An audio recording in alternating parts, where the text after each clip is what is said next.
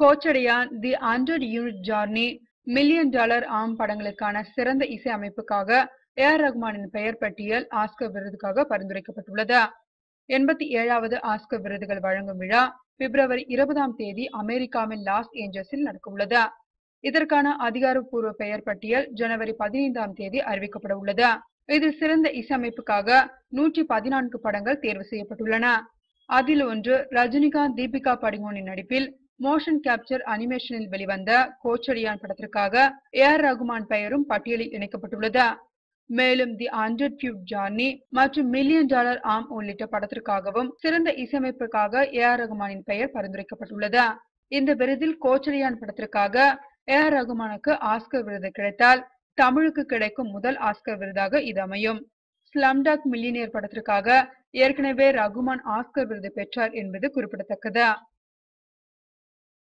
Thank you.